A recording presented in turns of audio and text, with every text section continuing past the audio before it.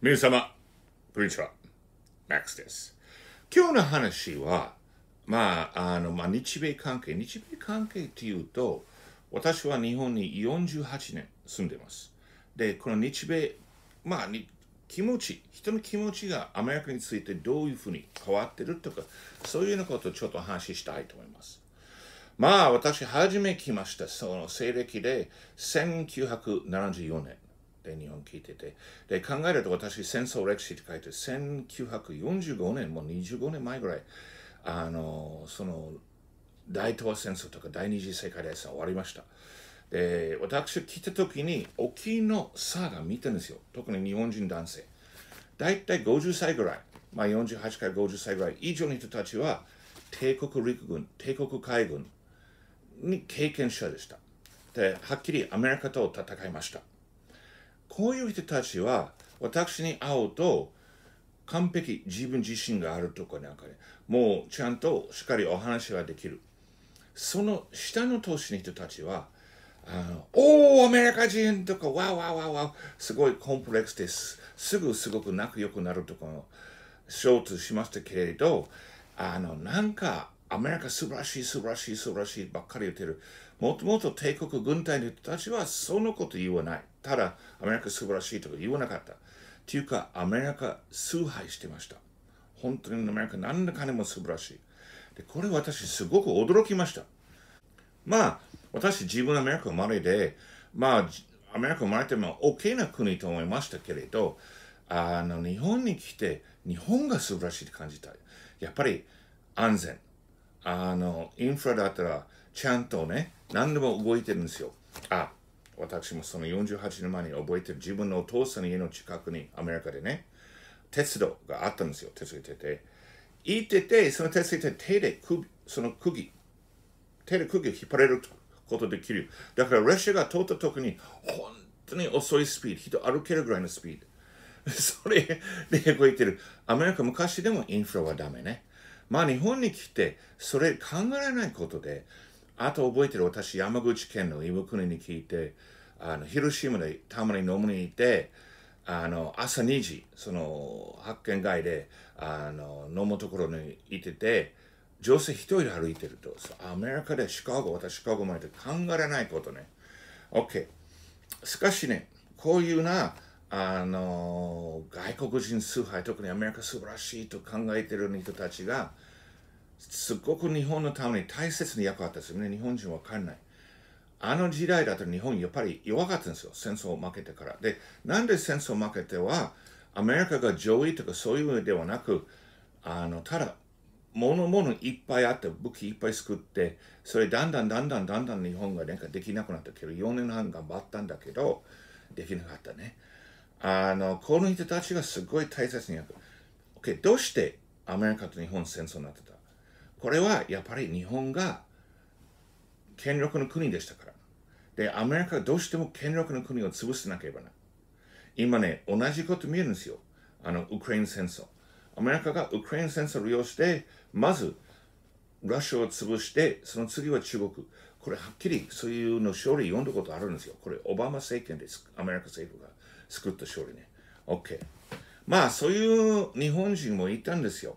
で、日本人もね、面白いこともね、私日本に来て、あの、日本人の方がアメリカのこと、歴史、例えば歴史とかなんかいろいろね、独立戦争とか南北戦争、アメリカ人より分かってる。で、質問来るとか、アメリカ人分かんないこと、いろいろ分かりました。びっくりしますよ。日本人は一生懸命勉強するとかなんかね。でも今アメリカ人もね、あの、日本人信じすぎる。まあ、今、あの昔の20年代、30年代の人たちが、今現在に60年代、70年代とか、なんか80年代でもね、まだ日本で権力あるけど、完璧にアメリカを信じています。アメリカが悪いことできないみたいな感じで考えてるんですよ。で、アメリカ人も自分のプロパガンダでも信じています。で、一つよく聞くんですよ。軍隊について。アメリカは世界一番素晴らしい軍隊があります。よくアメリカ人も言うんですよ。実は違います。最低最悪です。もうポリコレ、やりすぎとかなんかね、あの、予算が兵士もいけないとか、なんか武器もね、お金もけもけもけ、すごい高い武器だったら戦場で使えない。正直、今、ウクライナで残念ながら、アメリカの武器の才能がすごくひどいんです。あの、大砲、M777 の大砲が複雑すぎるですぐ壊れるよ、戦場で。ジャーヴンミサイルが75%発射しない。で発射あロシアの戦車立っても、まあ、ロシア戦争1台潰すために7か8回ぐらい足らないとダメですね。ミサイルはダメです。まあ、でもこれアメリカ人の自慢自慢自慢とかなんか一番素晴らしいと思ってるけど、実は作れないんですよ。で、今のアメリカ人もね、あの国内すっごい争いあるんですよ。エンタイトルメントっていうの気持ちがある。エンタイトルメントって何ですか？私は世界のどの国にいても特別扱い受けるべき。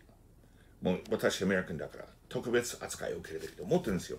で、これもちろんアメリカ国内とあのやってますからね。ってか、それで争いになってる。日本人が別の人の考えを聞きます。向こうは別の人の考えを潰します。もう自分の考え一番とかなんかで、いつもお互い争いしてると、日本人だったら、あの、そうですね、違う政治の考えても、まあ、宗教が違うでも、仲良くできる。あ私も結構ね、超左の友達もいますよ。友達だからもう、でも私も、うん、まあいろいろ考え、向こう聞いて、向こうで、で別にその話しなくていいから、喧嘩しなくていいですね。あの、でも問題に今なってるの方はそうですね、完璧に日本のリーダーシップクラスの方がアメリカについてに言ってますよ。特にロシアについて、ウクライナについて。もっと中立するべきですよ。あの、日本がもっと自分の国益考えるべき。これからもっと若い日本人がもっと自分の力を出して考えるべきですよ。アメリカも本当に国内内乱、まもなく近いんですよ。今年の秋、特にきつい。燃料もないし、燃料がない。じゃあ、あんまり配達できない。配達できないっていうか、スーパーマーケットに食料も来ない。あの、どのものの水に来ない。そういうことも来るんですよ。あの、結構ね、あの、これからあこうかな、こうかなってちょっと思ってる。まあ、アメリカ政府、大切な街を守ろうとするんじゃないかな。例えば、ニューヨークシティ、ワシントン DC、シカゴ、ロサンゼルス、サンフランシスコ。バルトモアだったら、バルトモアはっきり8割黒人。だから、バルトモアアメリカ政府はあまり見ないかもしれない。ああで食料あまりいけないかもしれない。Who cares? Who cares って意味誰も気にしないっていうか、英語出てきました。また英語出てきました。しかし、うち日本でさ、ああいう状態にならないように、アメリカについていくのは完璧、一緒に行くのはダメです。なんとかアメリカに行ってそういうことはできません。で、もっとロシアと中国に対してもっと中立的な立場を取ればいいです。これが日本の必要。正直に私の気持ちで日本は徳川家康人みたいな人みたいが必要です。ウグイスを泣くまで待ちます。アメリカこれから大変なことになるが、そのアメリカの、あの、まあ、終了とか終わりとかなんかね、出てくるまで待つしかないんです。OK! それで皆さん頑張りましょう。Like ボタンも教えてね。そして登録お願いします。またよろしくお願いします。